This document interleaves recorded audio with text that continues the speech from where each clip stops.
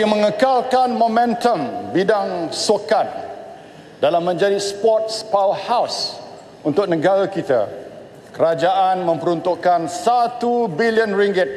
bagi melaksanakan inisiatif seperti Fit Malaysia, Hari Sokan Negara, latihan atlet, program akar umbi dan program pembangunan bola sepak negara. Kerajaan juga mengumumkan pembinaan 14 kompleks sokan baru di seluruh negara dengan kos 112 juta ringgit. Di samping itu, diumumkan peruntukan 20 juta ringgit kepada sokan sekolah sokan Bukit Jalil untuk menambah baik kemudahannya sebagai sekolah sokan premier